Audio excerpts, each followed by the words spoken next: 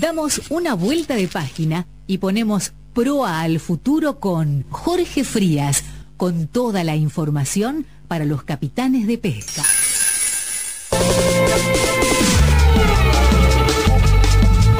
Muy bien, ya estamos en las 8 de la noche, 11 minutos. ¿Cómo te va, Jorge? Un gusto saludarte aquí desde los estudios de Estación 820. ¿Cómo estás?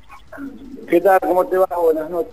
Acá estamos por la Patagonia recorriendo como todos los años y despidiendo el año con los compañeros de, de Puerto Madrid y Rawson. Muy bien, bueno, bueno, siempre allí cerca naturalmente de aquellos que, que van desarrollando su labor. Nuestro último encuentro fue Mar del Plata en el marco de la presentación precisamente de aquella película que se refiere, aquel documental que se refiere al tema de descarte cero y que, bueno, durante todo este año, a modo de, resumen de lo que ha sido este año, eh, desde precisamente la entidad que representás, se ha dado tanta difusión. Pero bueno, me gustaría, eh, precisamente ya que estamos cerrando el año, que nos hagas un panorama de cómo ha sido este año para la industria a la cual vos estás este, a cargo representando una importante cantidad de, trabajadores de todo el país y particularmente muchos de esos trabajadores son de la Patagonia, ¿no? Donde estás vos ahora allí presente.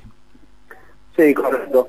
Bueno, mira, también hace, estamos eh, por compartir en unos momentos más país hacer la presentación formal aquí en ellos film de la película que desarrollamos sobre eh, esta gran preocupación y esta gran eh, voluntad e inquietud que tenemos por dar por finalizado de manera paulatina, obviamente, ya lo he dicho en otras oportunidades, no todo se puede hacer un día para el otro, algo que se viene diciendo a través de, la historia de la pesca, que es desperdiciar parte de la misma, proponemos que se aplique eh, política de Estado que nos lleve finalmente a no descartar la pesca o parte de ella y aprovecharla toda. En, ese sentido es que vamos instalando el tema y justamente, bueno, compartiremos hoy eh, con los compañeros aquí el mismo film que, proyectamos en la ciudad de Mar del Plata, ¿no? Descarte cero, una necesidad y una... Eh, esperanza de que tarde o temprano se, se logre.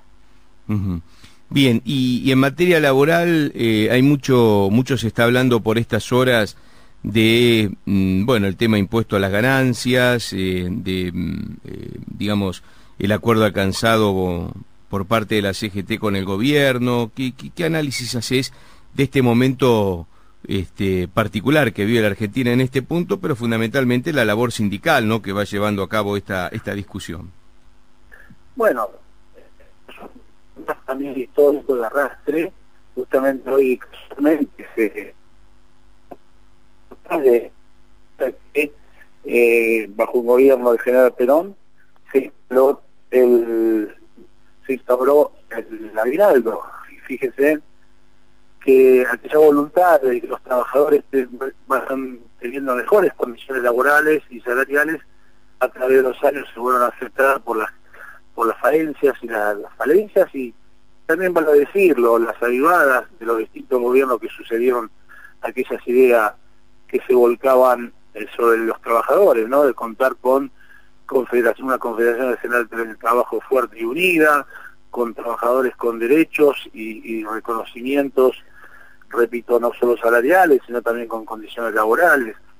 Y bien, esto fue maltratado a través de los años y por eso eh, no se han ido modificando las cuestiones de fondo, una inflación que fue aplastando la economía argentina a través de los años y este impuesto que no se nació para ser aplicado a los trabajadores termina teniéndolo casi como uno de los eh, pocos según quien lo diga, según de quien venga, esto de cuántos somos los que pagamos ganancias y cuántos no, pareciera que fuéramos pocos y no tan importantes, pero a la vez resulta ser que parece que sí es importante porque si no hubiesen cumplido con el compromiso de campaña del gobierno, tanto como el, el, gobierno actual y, quienes fueron candidatos también, todos prometieron que ganancias iba a terminar.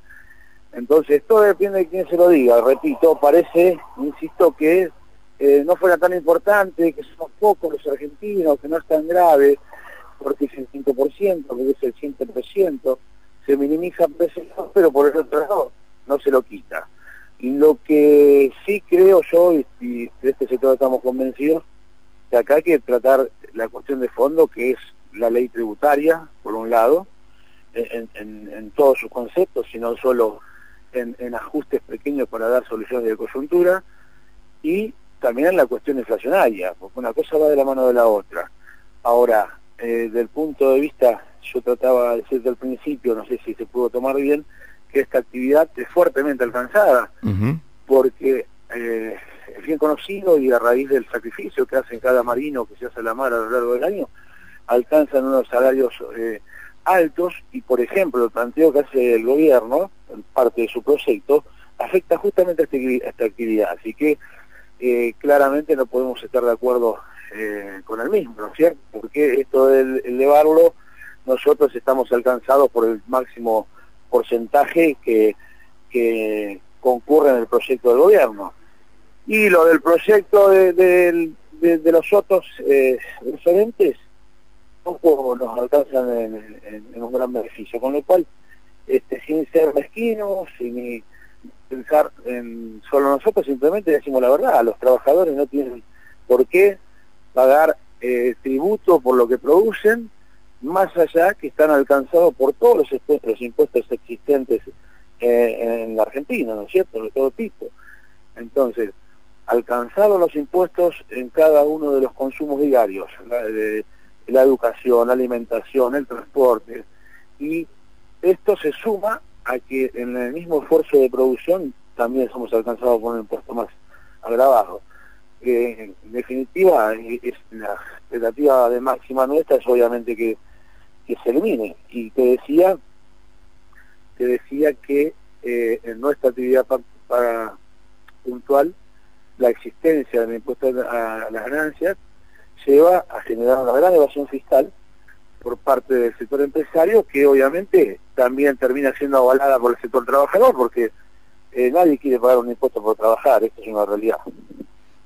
tal cual, tal cual, y que bueno, eh, se llega a un acuerdo al menos desde, desde distintos sectores, vamos a ver finalmente después cómo se, se materializa. Me gustaría, ya que estás allí en la zona sur de la Argentina, allí en la zona este, de Madrid y demás, ¿Cuál es la situación que se están viviendo? Eh, ¿qué, te están contando los compañeros? Hace algún tiempo atrás también, desde allí tomábamos contacto contigo con un conflicto que finalmente se llegó a una solución, pero que fue bastante dura su negociación. ¿Cómo está el trabajo allí en la Patagonia? Ok, sí, recuerdo, te referís al conflicto de San Antonio Este. Exactamente, sí, señor. Pero te robo dos segundos y, y permitime que aclare. A ver. de todas las explicaciones que he manifestado, que no es ni más ni menos que la voz de, de los afiliados que represento de los capitanes de pesca de Argentina, este, no significa que nosotros vamos a hacer, vamos a hacer una oposición a encontrar una solución que por lo menos alcance una parcialidad de los trabajadores.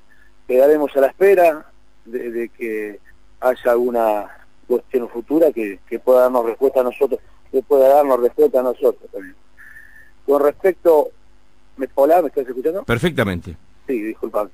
Con respecto a esa situación, lamentablemente eh, no tuve una solución, hay una permisividad exagerada del gobierno de permitir una irregularidad en San Antonio Este, donde todos aquellos reclamos que los trabajadores habían puesto en ese momento no se cumplieron, que no hubiesen nuevos permisos, que, las cuestiones laborales estuvieran enmarcadas en un acuerdo, y fundamentalmente que para explotar el recurso que contiene el Golfo San Matías, la provincia de Río Negro, se hace un, relevamiento científico para saber realmente qué se puede pescar y qué no. Que, eh, ¿Cuál es la magnitud de, la masa biológica? Eh, y en función de eso sí, uno puede decir, se pueden sumar más barcos de, de mayores veloras, de menores veloras, Bien, la cuestión que con una picardía del sector de gobierno de, la provincia de Río Negro se dio un compromiso de cumplimiento que eh, es fácil probarlo que no está realizado porque en ese momento no superaban los 10 barcos y hoy superan los 20, quiere decir que el gobierno ha llevado adelante irregularidades que, que no puede controlar, ¿no? O no quiere. Lo cierto es que afortunadamente a, a, Dios, porque es así, el recurso ha sido importante y bueno, estos más de 20 barcos que estarían pescando han tenido trabajo, lo cual esto es rescatar y es bueno. Bien, ¿y cómo, cómo avisorás este, el próximo año, Jorge, eh, tanto en la tarea puntual de los capitanes de pesca como en general en el país? En cuanto a lo, a lo económico, no veo que realmente cambie mucho para nosotros, pero eh, vuelvo a, mencionar a Dios y confiar que los años eh, pasados que fueron que fueron muy buenos eh, se repitan en el 2017. Si esto es así, trabajo, gracias a Dios, no va a faltar, pero seguiremos enfrentando las eh, tributarias y, algunas decisiones políticas que se toman en, cuanto a pesca, en cuanto a la extracción del recurso y el cuidado del mismo. Perfecto. Bueno, Jorge, te queríamos enviar un saludo. Sabemos que estás en pleno viaje, estás en plena actividad allí en el sur. Eh, bueno, pero no queríamos dejar de saludar a vos y, por supuesto, en nombre tuyo, a todos los amigos capitanes de pesca que representás y que están diseminados por todo el país y desearle una feliz Navidad y bueno, y ojalá que nos encuentre como siempre, ¿no? La esperanza nunca se pierde de tener un año mejor, ¿eh?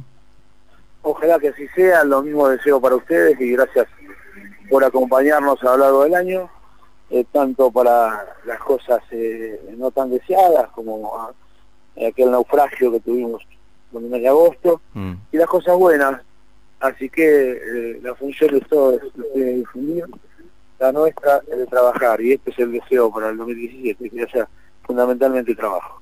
Un abrazo grande, Jorge, felicidades. ¿eh? Felicidades a ustedes, un abrazo. Gracias.